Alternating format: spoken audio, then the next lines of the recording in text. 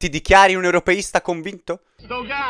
Pensi che per essere competitiva il destino dell'Italia non possa che essere negli Stati Uniti d'Europa? Col c***o! Sogni il giorno in cui finalmente portoghesi e lettoni potranno vivere sotto uno stesso Stato? Sto cazzo! Allora questo è il video giusto per te. Perché a giugno ci saranno le elezioni europee e come ogni quattro anni si presentano partiti e liste minacciose come questo e come questa. E figure ancora più ambigue e sinistre come questa si candidano a guidare le istituzioni. Mo meglio del c***o! E allora è finalmente arrivato il momento di fare un discorso che sappiamo un po' per tutti difficile da digerire, perché si tratta di mettere in discussione niente po' di meno che l'ultima grande utopia politica per almeno un paio di generazioni di europei e a cui anche noi, in fondo in fondo, ci abbiamo un po' creduto. Ma arrivati a questo punto sarebbe peggio continuare a far finta di nulla, continuare a riempirci la testa di rassicurante propaganda e aspettare che la catastrofe diventi irreversibile. L'entrata dell'Italia nell'euro è stato un fallimento e questa Unione Europea è un progetto finito. E preso atto di tutto questo, le forze veramente popolari europee hanno oggi il compito urgente di proporre una seria alternativa sociale e democratica a queste istituzioni comunitarie, fondate sugli interessi delle oligarchie finanziarie, sulla guerra e sulla politica estera americana. Ma certo, hai ragione, penserà adesso in automatico l'europeista convinto. E il problema sono i sovranisti che impediscono una vera federazione. La soluzione è che ci vuole ancora più Europa. Il nostro destino sono gli Stati Uniti d'Europa. Da solo gli stati nazionali non potranno mai farcela da soli. Calma, perché su questo argomento non possiamo più permetterci di essere banali, superficiali o ideologici. Ed è anzi questa adesione quasi religiosa al progetto di questa Unione Europea e alla sua moneta unica ad aver fatto i danni peggiori e ad aver tradito la speranza di un vero soggetto geopolitico indipendente capace di competere con le altre superpotenze. Sì, perché purtroppo ancora in Italia, quando si parla di euro e di Unione Europea, è come se ci si scontrasse con un muro. Un muro, come scrive il professore di economia Pavarani nel suo ultimo articolo per la Fionda, Il male della banalità, fatto prima di tutto di luoghi comuni, di false credenze, di falsi miti, di informazioni distorte, di banalità. E questo perché l'europeismo in Italia non è mai stato una posizione politica tra le altre, ma è diventato come un tabù religioso un feticcio. E persino sugli effetti negativi della moneta unica per la nostra economia, sui quali ormai c'è una corposa e copiosa letteratura scientifica, è praticamente impossibile avere una discussione franca e razionale. E piuttosto che anche mettere solo in discussione la bontà e la speranza del suo grande sogno federalista, l'europeista convinto preferisce non ascoltare e guardare dall'altra parte. L'euro è assurto al ruolo di indecibile, di totem, di feticcio, scrive un altro professore di economia, Gabriele Guzzi, sull'Imes. Invece di procedere in analisi equanimi, ci si nasconde dietro a una religiosità europeista spesso molto sterile.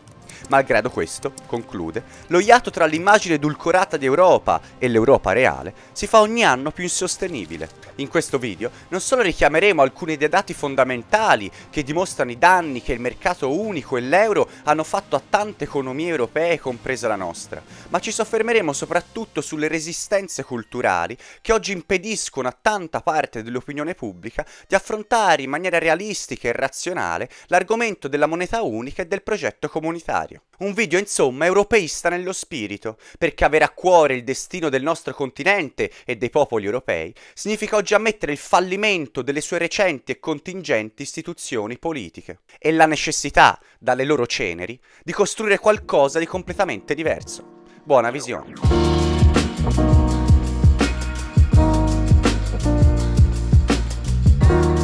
Partiamo da un presupposto che dovrebbe essere ovvio e che invece non lo è per nulla. Criticare la moneta unica o le forme giuridico-istituzionali dell'attuale Unione Europea a 27 membri non significa affatto essere anti-europeista. Già questa equazione tra l'essere europeisti ed essere a favore delle politiche della Banca Centrale Europea o della Commissione puzza di ideologia e di propaganda da lontano un miglio. E quindi questo video, lo sottolineo di nuovo per il nostro europeista convinto, non è nemmeno lontanamente un video anti-europeista europeista, ma anzi un video mosso da spirito costruttivo, che da una parte riporta alcuni dati che dimostrano come l'Italia, insieme a molti altri paesi, sia stata oggettivamente danneggiata dalla moneta unica, e dall'altra che riflette sul fatto che una nuova unione tra le nazioni europee, fondata sulla solidarietà, sul primato della politica sull'economia e sull'indipendenza strategica dagli Stati Uniti, è nei fatti strutturalmente incompatibile con le attuali istituzioni comunitarie. Partiamo dalla situazione attuale. Negli ultimi due anni, l'idea che l'epidemia avesse rappresentato un momento rifondativo per l'Unione Europea grazie alle emissioni di Eurobond si è scontrata con la realtà. Non c'è stato nessun salto di qualità, nessuna prospettiva federalista. Mentre il mondo brucia tra guerre e divisioni, scrive Guzzi, l'Unione Europea continua a discutere di 0, di percentuali di saldo strutturale. L'ideologia contabilistica e ragionieristica di Bruxelles si mostra ancora l'unico collante economico realmente esistente oggi in Europa. E questo, come vedremo, non per colpa dei sovranisti alla Orban, come subito starà pensando il nostro europeista convinto pur di non mettere in discussione il suo sogno, ma perché esattamente questo è il progetto dell'Unione Europea, e cioè sono esattamente questi i principi e i fondamenti su cui sono stati costruiti i trattati. È esattamente questa, questa qui, l'Unione Europea che hanno voluto l'elite e che continuano a volere volere. Non è un incidente, non è un errore da correggere per poter tornare sulla giusta carreggiata. È così che funziona perché è così che è stata pensata. E infatti gli Stati Uniti, che stanno da sempre dietro al progetto comunitario e anche piccole cerchie del grande capitale, stanno continuando a beneficiarne, naturalmente a spese dei ceti medi e popolari. Partiamo dalla moneta unica.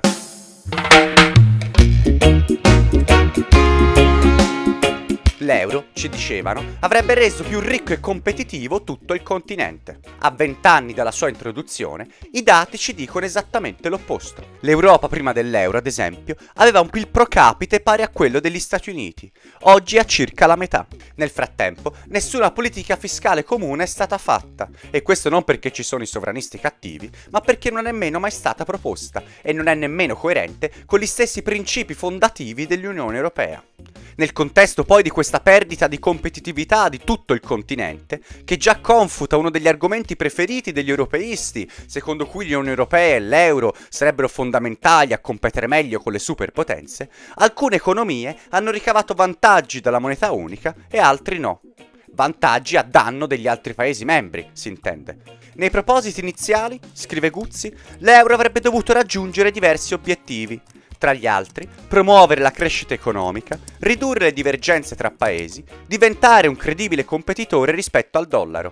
Dopo 25 anni, possiamo dire che tutti questi obiettivi non sono stati raggiunti.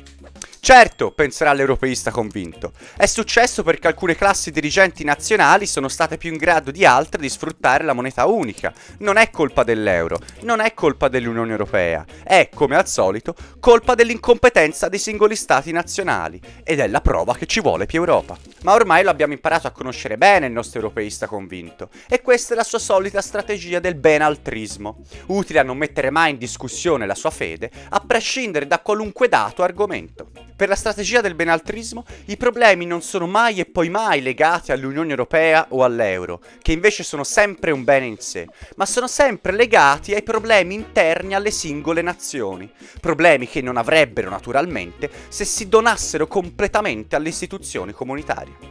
Peccato che le cose non stiano esattamente così, e l'Italia in questo senso è un caso paradigmatico.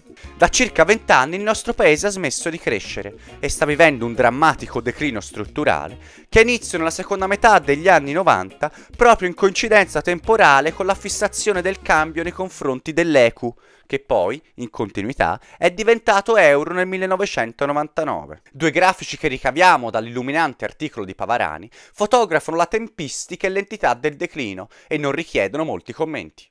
Ecco, qui vediamo la famosa Italietta della liretta aumentare stabilmente il proprio PIL pro capite fino alla metà degli anni 90, diventando una delle più ricche e prospere comunità del pianeta, per poi cominciare il suo triste declino in coincidenza con l'introduzione dell'euro. Questa curiosa coincidenza temporale, scrive Pavarani, diventa ancora più marcata se confrontiamo i dati Eurostat sul PIL pro capite italiano, confrontandoli con la media dei 15 paesi più sviluppati dell'Eurozona.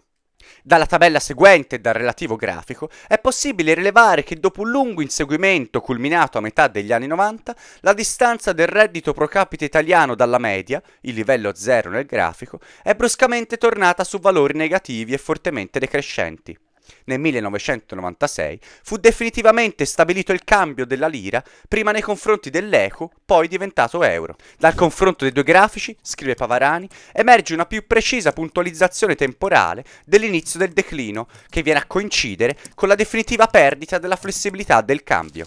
Soltanto quindi una semplice coincidenza temporale? Ed è tutta colpa della nostra classe dirigente che da un certo momento in poi non ha più capito come autogovernarsi? Si può anche continuare a pensarlo e continuare a sostenere che sia tutta colpa dei sovranisti o dei populisti che parlano alla pancia invece che alla testa delle persone. Però allora, come sottolinea Pavarani, ci si pone in aperto contrasto con un'ormai copiosa letteratura scientifica che ha chiaramente dimostrato i rapporti di causa e di effetto. Ad esempio il premio Nobel dell'economia Joseph Stiglitz, che nella sua opera dedicata all'euro, scrive che la causa della crisi è da attribuire alla struttura stessa dell'eurozona e alle politiche da essa imposte, non alle mancanze dei singoli paesi. Non mi soffermerò adesso su tutti gli aspetti tecnico-economici che stanno alla base dei gravi danni che l'euro ha fatto alla nostra economia. E per chi avesse voglia di farsi una prima idea su questo argomento, metto qui sotto in descrizione gli articoli di Pavarani e Guzzi. Sta di fatto che il processo di integrazione nella moneta unica, per come sono state progettate, non potevano che essere fonte di vantaggi per alcuni e simmetricamente di svantaggi per altri. Fa parte del suo DNA. E questo non ci deve stupire nate nel clima culturale del neoliberismo, è questa l'ideologia politica su cui si fondano i trattati, l'euro e che tutt'oggi guida le istituzioni comunitarie. Un'ideologia, come dovremmo ormai aver imparato, intrinsecamente oligarchica e fondata sul primato dell'economia sulla politica. L'intervento dello Stato nel mercato, le politiche distributive, la tutela dei diritti sociali sono contrastate dalle regole che l'Unione Europea si è data e ostacolate dalle riforme che essa richiede chiede ai Paesi membri, scrive Pavarani. Le regole del gioco sono quelle del mercato e della concorrenza, che premiano alcuni e penalizzano altri. Naturalmente, conclude il professore di economia all'Università di Parma, tutto questo è quanto di più lontano si possa immaginare rispetto al progetto di società prefigurato dalla nostra Costituzione, e infatti l'Italia è stata fortemente penalizzata dalle dinamiche comunitarie, anche più di altri stati, proprio per la difficoltà di adeguare il proprio modello sociale e gli assetti giuridici, economici, politici e sociali al paradigma imposto dall'Unione Europea. Ma se la stragrande maggioranza dell'impresa italiana, anche se ovviamente in modi diversi, è stata colpita dall'austerità e dalla desertificazione industriale e se solo piccole cerchie del grande capitale hanno beneficiato e continuano a beneficiarne, come spiegare allora la persistente adesione di buona parte della classe media italiana a questa fede europeista senza se e senza ma?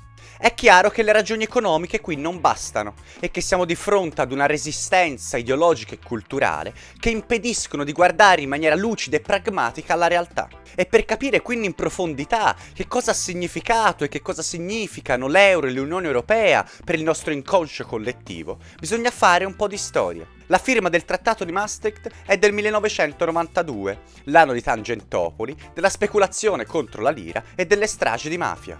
L'anno prima c'era stata la rovinosa caduta dell'Unione Sovietica, con tutte le sue tragiche conseguenze sul pensiero di sinistra occidentale.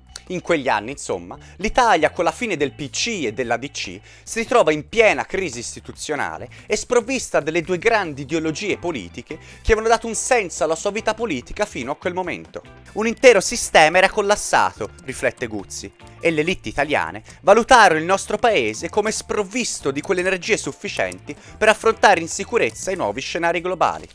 È allora qui che troviamo le radici dell'adesione pseudo-religiosa dell'Italia alla moneta unica e al progetto comunitario, che per noi non sono mai stati solo un utile strumento per mantenere la pace e portare avanti gli interessi nazionali, ma sono diventati la nuova grande utopia politica a cui fare riferimento un'ideologia politica con caratteri quasi millenaristici, che permea tutta la nostra cultura politica del terzo millennio. L'unificazione europea divenne la nuova narrazione sostitutiva, il sol dell'avvenire, verso cui convogliare quelle attese millenaristiche che caratterizzavano entrambe le tradizioni tradizioni, comunista e cattolica, sottolinea Guzzi, un marchingegno teologico-politico per risolvere la propria crisi di identità senza interrogarsi troppo sul passato.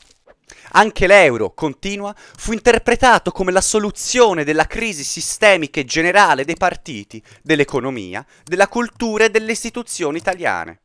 Esso non è mai stato per noi solo uno strumento economico, è stato il modo con cui le elite impostarono la nuova identità strategico-culturale del paese.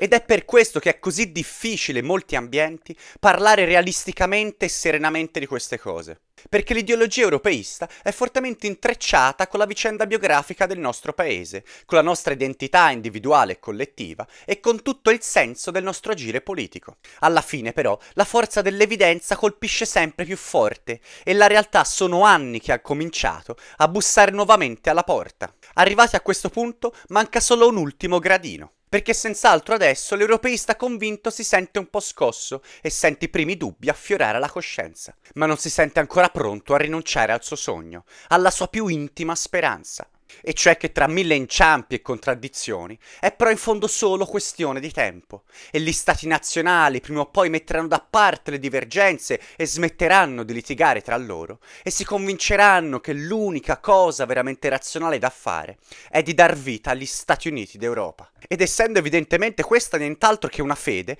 tutto è permesso, tutto è concesso, tutti i sacrifici sono giustificati. Per l'europeista convinto, infatti, gli italiani tra 30 anni potranno anche cibarsi di vermi o non avere più l'acqua potabile, purché gli dicano che stiamo comunque andando nella direzione del grande progetto federale.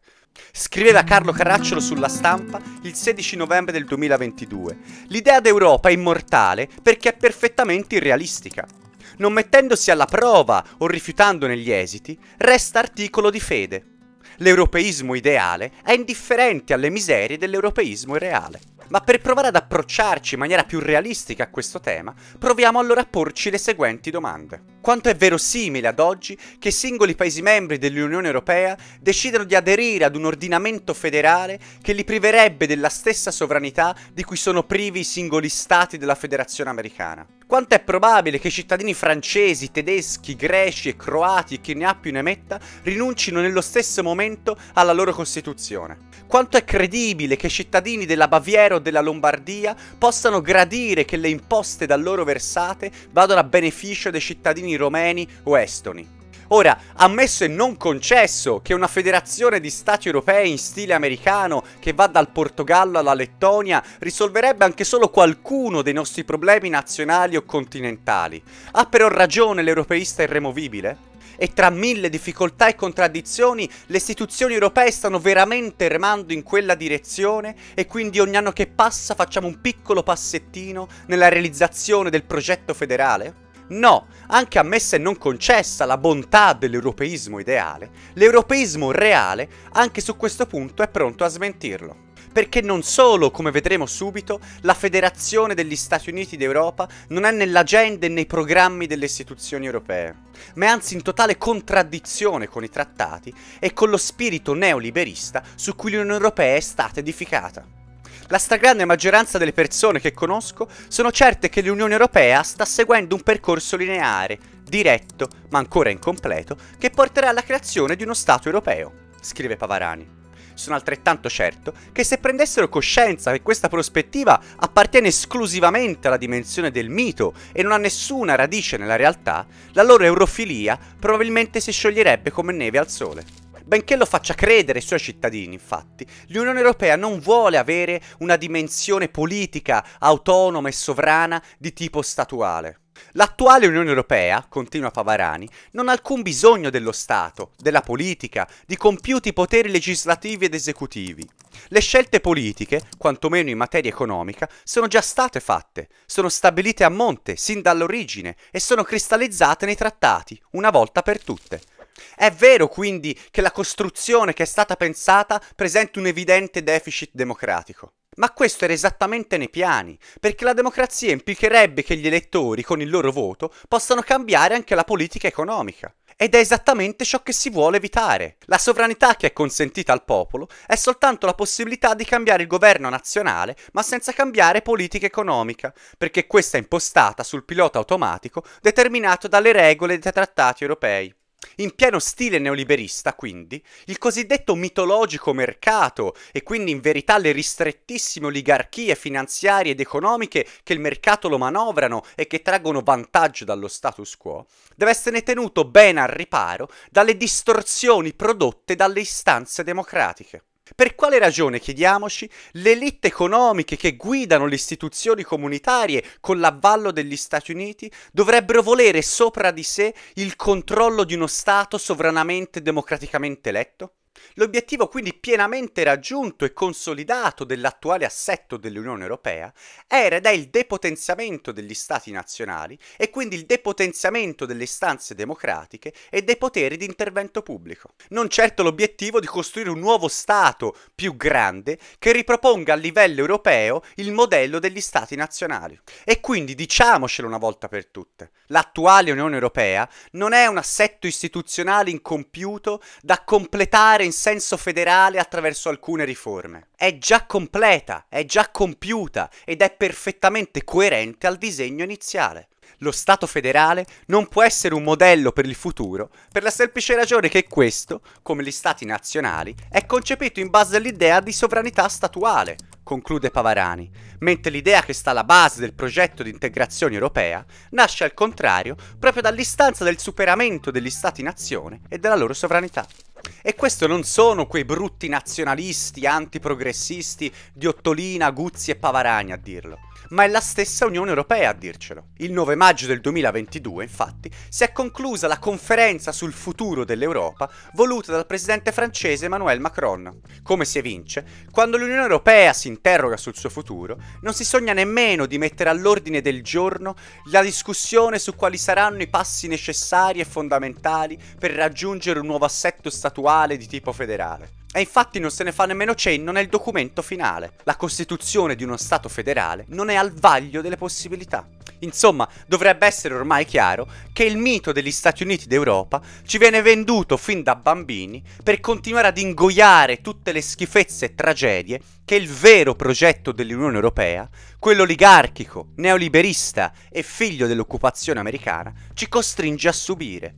Quello che contribuisce allo smantellamento della socialdemocrazia e alla lotta di classe dall'alto verso il basso. Gli Stati Uniti d'Europa, insomma, come il nuovo oppio dei popoli europei, l'oppio a causa del quale da 30 anni abbiamo smesso di guardare con lucidità politica quello che succede intorno a noi.